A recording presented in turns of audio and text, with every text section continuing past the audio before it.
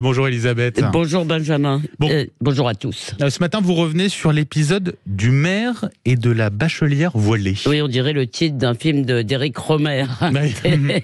Ça s'est passé donc samedi à Francheville dans le Rhône. hein. Cette ville organisait une cérémonie pour les bacheliers qui avaient reçu une mention et ils recevaient un prix de 100 euros.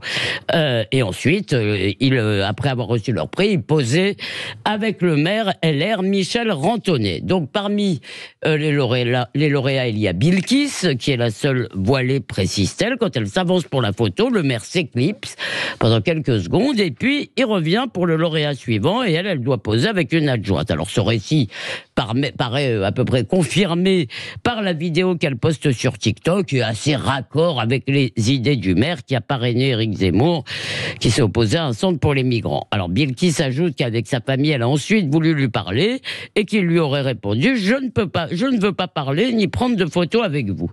Commentaire de Bilkis, ils ne cachent même plus leur mépris pour l'islam et les musulmans. Alors cette vidéo a été re- relayée par le euh, CCIE, Comité contre l'islamophobie en Europe, qui a succédé euh, au même en France, qui a été dissous, vous vous rappelez.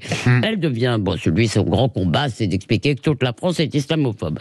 Bon, euh, elle devient virale et sur les réseaux, ça suscite une bataille rangée. Les partisans du maire rappellent en termes plus ou moins aimables que le voile n'est pas français. Ceux de Bilkis se traitent de fachos, de racistes, évidemment d'islamophobes. Il y a des élus écolos aussi qui font chorus, par exemple.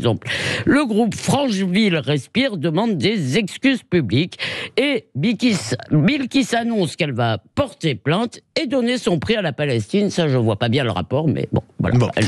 Et, et alors, qui a raison selon vous, Elisabeth Euh, Le maire ou la Alors, je vais peut-être vous étonner, mais d'abord, Ah. avant de me Mhm. prononcer sur le fond, je voudrais dire que je comprends la tristesse de Bilkis. Elle était avec sa famille, elle voulait que sa famille soit fière d'elle, elle a Mhm. une mention au bac.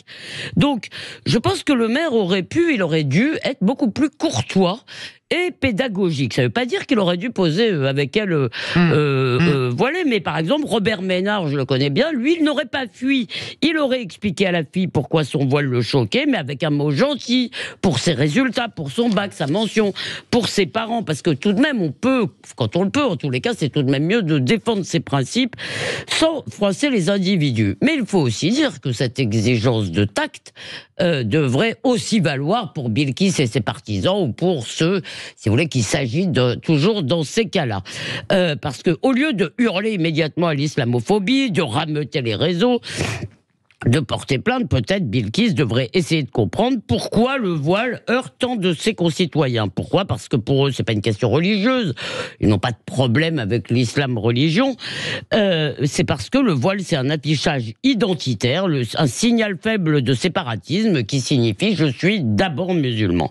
Et c'est aussi, ce n'est pas la moindre des raisons, c'est tout de même aussi l'étendard de nos ennemis, l'étendard de gens qui assassinent les Français. Alors bien sûr, attention, hein, ça ne veut pas dire que tous ceux qui le voient sont pour ces gens-là, mais c'est un étendard euh, euh, politique euh, aujourd'hui. Alors la loi ne lui interdisait pas de le porter puisque c'était dans une salle des fêtes, mais enfin c'était quand même une cérémonie liée à l'école. Elle aurait pu faire comme au lycée, s'abstenir de le porter.